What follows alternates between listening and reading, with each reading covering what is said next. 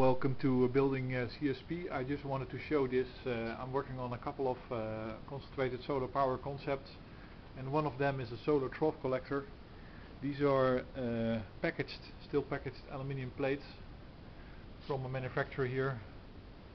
It's Alanod, uh, it's a German company, it's also producing in the UK and they have these Miro 95% and even 98% I guess that's the unprotected silver uh, type mirror which is very high uh, reflectance.